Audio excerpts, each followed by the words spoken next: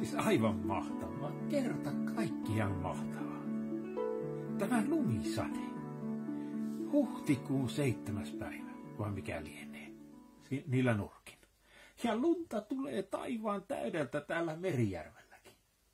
Sitä on eilisillan jälkeen kohta taas tullut, mitä tuosta sanois, lähemmäs kymmenen senttiä. Aivan mahtavaa. Kerta kaikkia. No mikä tässä sitten on niin mahtavaa? Minusta tässä on niin mahtavaa se, että kun on asioita tässä maailmassa, jolle ihminen ei voi yhtään mitään. Täytyy vain ottaa vastaan se, mitä annetaan. Ja parempi ottaa vastaan kiitollisin mieli, hyvillä mielin. Vaikka nytkin saisi jo ajatella, että pitäisi kiireellä mennä, mennä pihaa kolaamaan. Eilen illalla sen putsasi ja nyt sitä on taas tullut noin paljon.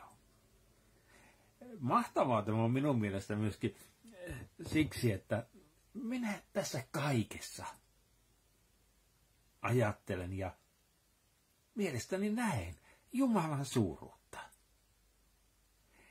Kun tänä aamuna täältä raamatun sivuilta hain leipää, ruokaa tähän päivään, niin silmien eteen aukesi psalmi 19. Se on kuningas äh, Davidin psalmi. Ja hän siinä runokielellä puhuu Jumalan suuruudesta. Hän sanoi näin. Taivaat julistavat Jumalan kunnia, taivaan kansi kertoo hänen teoistaan. Kun minä tänään katselen tuosta ikkunasta ulos, tuota sankkaa lumisadetta, niin kyllä minä ajattelen juuri näin. Taivas julistaa Jumalan kunniaa. Taivaan kansi kertoo hänen teoistaan.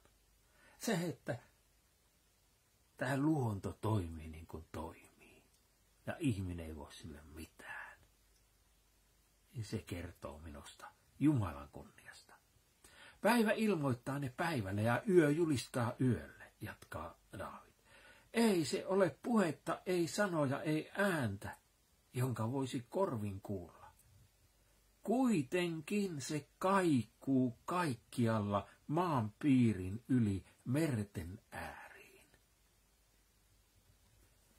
Kyllä tämä luonnon keskellä, kun ihminen elää, niin täytyy olla melko lailla kuuro ja sokea, jos ei näe, että taustalla on kaikki valtias Jumala, taivaan ja maan luoja, ja jolla kaiken lisäksi on hyvä tahto meitä ihmisiä kohtaan.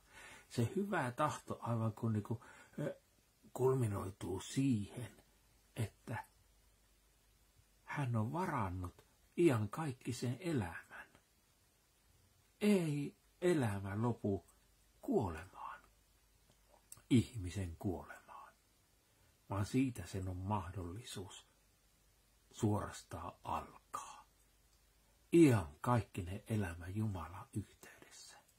Sitä vartenhan Jumala Jeesuksen lähetti tänne maailmaan kuolemaan meidän syntiemme tähden. Että niin kuin Raamattu sanoo, uskomalla tuohon Jeesukseen ihminen saa syntinsä anteeksi ja pääsee osalliseksi ihan kaikkisesta elämästä. No, joskus tämä kaikki näyttäytyy meidän silmissä vain loputtomalta lumisateelta, räntäsateelta vesisateelta tai helteiseltä auringon pahteelta. Mutta kaikki se julistaa Jumalan kunniaa. Sitä, että hän on ylitse kaiken. Hän on taivaan ja maan luoja. Oikein mukavaa, hyvää. Suorastaan iloista lumisateista viikon loppua sinulle. Nautitaan tästäkin. Oikein mukavaa viikonloppua. Moi.